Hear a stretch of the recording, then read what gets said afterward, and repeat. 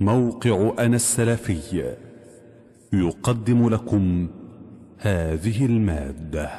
الحمد لله وأشهد أن لا إله إلا الله وحده لا شريك له وأشهد أن محمدا عبده ورسوله صلى الله عليه وآله وسلم. أما بعد أعوذ بالله من الشيطان الرجيم. قل أندعو من دون الله ما لا ينفعنا ولا يضرنا ونرد على أعقابنا بعد إذ هدانا الله. كالذي استهوته الشياطين في الأرض حيران. حيران له أصحاب يدعونه إلى الهدى ائتنا. قل إن هدى الله هو الهدى وأمرنا لنسلم لرب العالمين. وأن أقيموا الصلاة واتقوه وهو الذي إليه تحشرون وهو الذي خلق السماوات والأرض بالحق ويوم يقول كن فيكون قوله الحق وله الملك يوم ينفخ في الصور عالم الغيب والشهادة وهو الحكيم الخبير قال الإمام أبو جعفر محمد بن جرير الطبري رحمه الله. هذا تنبيه من الله تعالى ذكره نبيه صلى الله عليه وسلم على حجته على مشركي قومه من عبدة الأوثان. يقول له تعالى ذكره قل يا محمد لهؤلاء العادلين بربهم الأوثان والأنداد والآمرين لك باتباع دينهم وعبادة الأصنام معهم. أندعو من دون الله حجرا أو خشبا لا يقدر على نفعنا أو ضرنا فنخصه بالعبادة دون الله. وندع عبادة الذي بيده الضر والنفع والحياة والحياة والموت. إن كنتم تعقلون. فتميزون بين الخير والشر. فلا شك أنكم تعلمون أن خدمة ما يرجى ما يرتجى نفعه. ويرهب ضره. أحق أحق وأولى من خدمة من لا يرجى نفعه ولا يخشى ضره. نادرا ما يستعمل ابن جرير رحمه الله لفظ الخدمة موضع العبادة. إن كان هذا مشهورا عند المتصوفة يعني من نقل عنهم إلا أنه لا يكاد يستعمله. هنا خدمة بمعنى عبادة ما يرتجى من من يرتجى نفعه. وما بمعنى من؟ وهذا من أعظم الأدلة في الرد على عبدة القبور الذين يعبدون الأموات الذين لم يملكوا لأنفسهم دفع ضر المرض والموت عن أنفسهم حتى ماتوا ولم يملكوا حياة ولا يملكون شيئا فهم يعتقدون أنهم يدبرون الكون. ويضرون وينفعون ويعطون المدد. نعوذ بالله. ونصوص القرآن صريحة في أنه لا تجوز دعاء ولا عبادة. ما لا ينفع ولا يضر. وأن الله وحده هو النافع الضار. وإن يمسسك الله بضر فلا كاشف له إلا هو. وإن يردك بخير فلا فهو على كل شيء قدير. وإن يردك بخير فلا راد لفضله. وهذه الآية قل أندعو من دون الله ما لا ينفعنا ولا يضرنا. فإن اعتقدوا أن قبورهم وأصحابها ينفعون أو يضرون فقد كذبوا القرآن واشركوا في الربوبية إضافة إلى شركهم في الإلهية. فإن إقرار المشركين أن الأوثان لا تنفع ولا تضر. كان أحسن من اعتقاد من ينفع أن المقامات وأصحابها ينفعون أو يضرون. نعوذ بالله من الضلال. وإن كان من يزعمون ذلك يقولون إنها تنفع وتضر بإذن الله وذلك لا يغني عنهم شيئا. فإن المشركين كانوا يقولون لبيك اللهم لبيك لبيك لا شريك لك لبيك إلا شريكا هو لك ملكته وما ملك. فقولهم ملكته وما ملك مثل قولهم يخلقون بإذن الله وينفعون بإذن الله ويضرون بإذن الله على الغيب. فلذلك لم يكفهم أن يضيفوا بإذن الله كما لم يكفي المشركين ولم ينفع المشركين أن يقولوا ملكته وما ملك. نسأل الله العافية. قال ابن جرير وقوله ونرد على أعقابنا يقول ونرد على أدبارنا فنرجع القهقرى خلفنا لم نظهر بحاجتنا وقد بينا معنى الرد على العقب. هي أصل معناها إنه بيرجع بظهره. وأن العرب تقول لكل طالب حاجة لم يظفر بها رد على عقبيه فيما مضى بما أغنى عن إعادته في هذا الموضع. وإنما يراد في هذا المو... به, به في هذا الموضع ونرد من الإسلام إلى الكفر. بعد إذ هدانا الله فوفقنا له فيكون مثلنا في ذلك. مثل مثل الرجل الذي استتبعه الشيطان يهوي في الأرض حيران. وقوله استهوته استفعلته. من قول القائل هوى فلان إلى كذا يهوي إليه. ومن قول الله تعالى ذكره فاجعل أفئدة من الناس تهوي إليهم بمعنى تنزع إليهم وتريدهم وبالتالي تسير إليهم.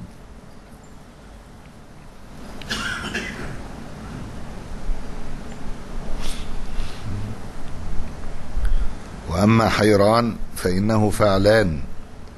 من قول القائل قد حار فلان في الطريق. فهو يحار فيه حيرة وحيرانا وحيرورة وذلك إذا ضل فلم يهتدي للمحجة واستقامة السبيل.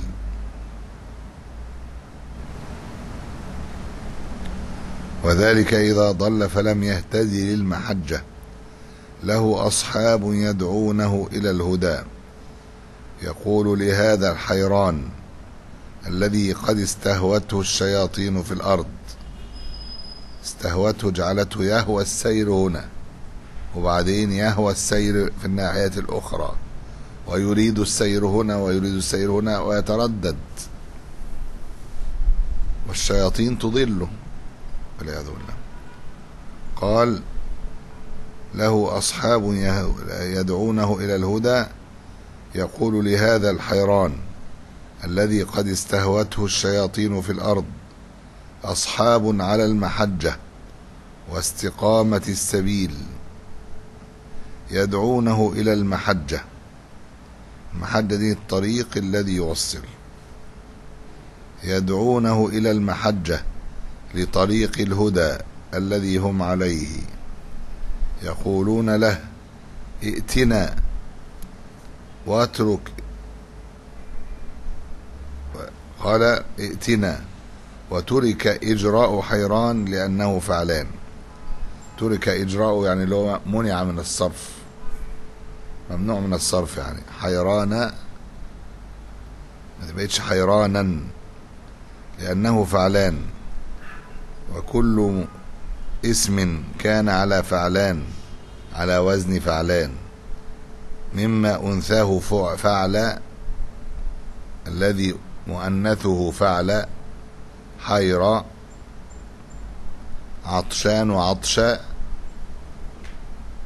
جوعان وجوعاء دي بقى أسماء إيه؟ ممنوعة من الصرف.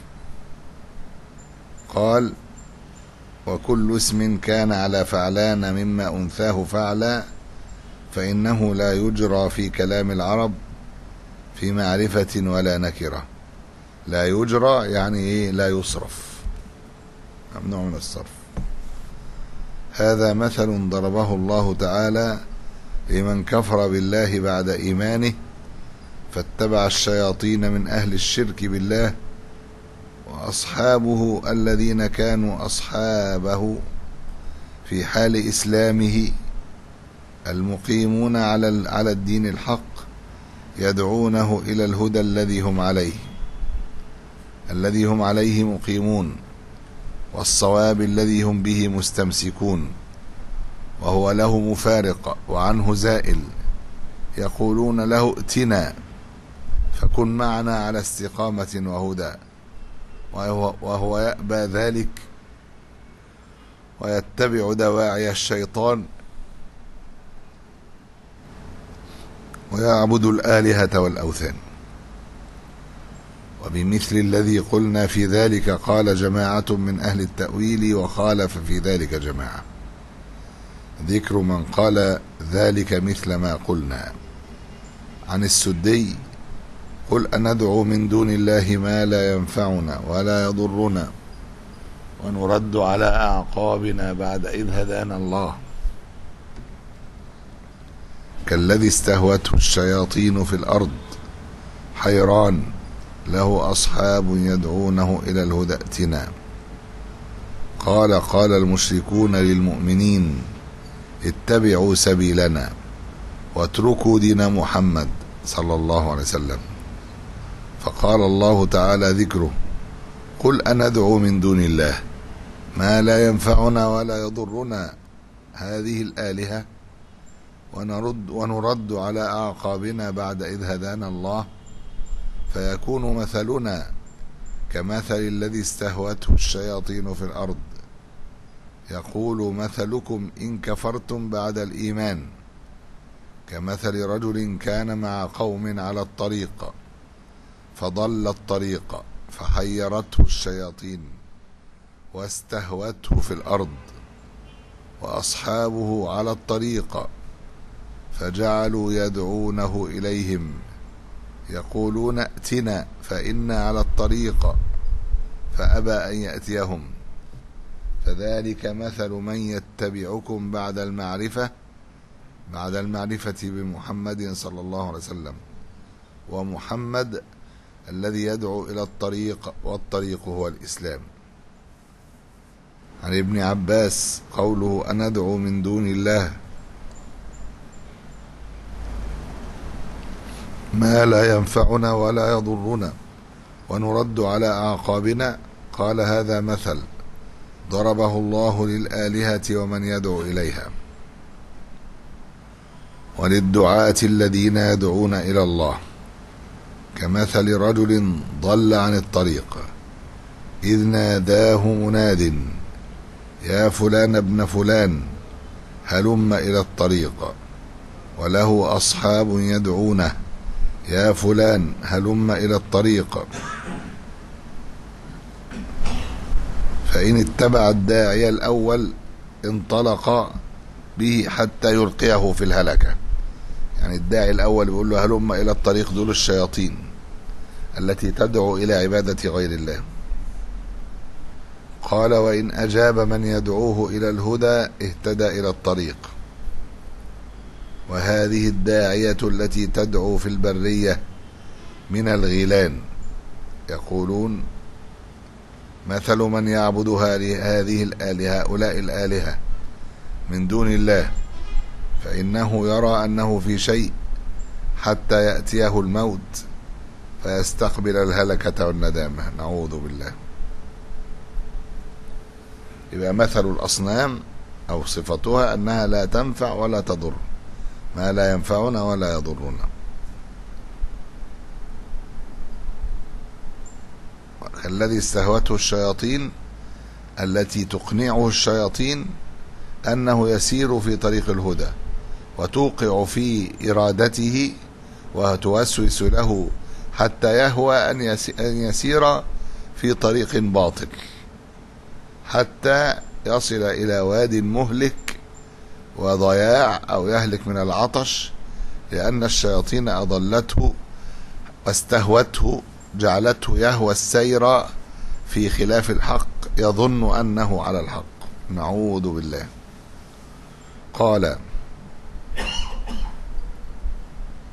وقوله كالذي استهوته الشياطين في الأرض وهم الغيلان يدعونه باسمه واسم أبيه واسم جده فيتبعها فيرى أنه في شيء ويصبح وقد ألقته في الهلكة وربما أكلته أو تلقيه في مظلة من الأرض يهلك فيها يهلك فيها عطشا. فهذا مثل من أجاب الآلهة التي تعبد من دون الله عز وجل. مسألة يعني يعني الغول بياكل إزاي يعني؟ لما أكلته الغيلان. لو أن هذه ال- الشياطين تصورت في صورة صورة حيوان مثلا فإنها تأخذ حكم ذلك الحيوان. هذا الغول الذي إذا صار في شيء مثلا كصورة وحوش مثلا لو قتله إنسان على تلك الحال لمات الشيطان. نعم حديث صحيح اللي هو أي نعم الحديث الذي أن فتى من الأنصار كان أثناء غزوة الخندق. حديث الزواج كان يختلف إلى أهله فرجع إلى أهله استأذن النبي صلى الله عليه وسلم ورجع إلى أهله زوجته فوجدها خارج البيت فرفع الحربة يعني غيرة كيف تخرج بدون إذنه فقالت له لا تفعل شيئا حتى تنظر ما في الداخل. فدخل فوجد حية هائلة فانتظمها بالحربة فاضطربت عليه. فلا يدرى أيهما أسرع هلاكا الفتى أم الحية. الاثنين ماتوا. فأخبر النبي صلى الله عليه وسلم أن أن بالمدينة جدا أسلموا فلا آه يعني يعني تقتلوا شيئا منها حتى تنذروه ثلاثا. فإن بدا لكم بعد ثلاث فاقتلوه إن بالمدينة جنا. فأمر باست يعني بالإيه بالإيذان التحريج. أحرج عليكم أن لا تظهروا لنا.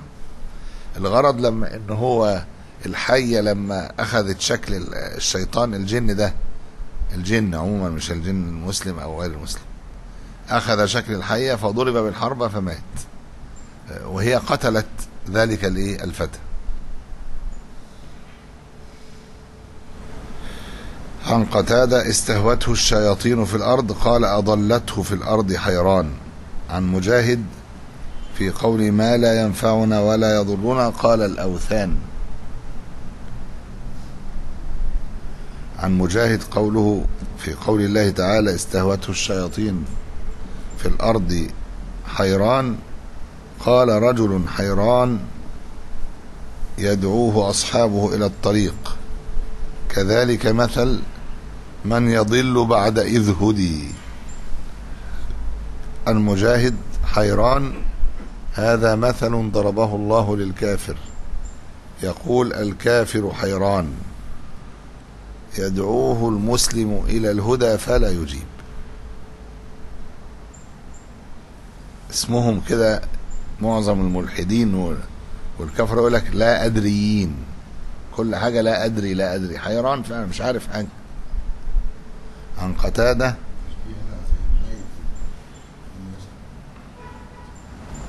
قرأ قوله قل أندعو من دون الله ما لا ينفعنا ولا يضرنا حتى بلغ لنسلم لرب العالمين. قال علمها الله محمدا صلى الله عليه وسلم يخاصمون بها أهل الضلالة. ده القول الأول وسأذكر الثاني بعد ذلك. قولوا قولي هذا وأستغفر الله لي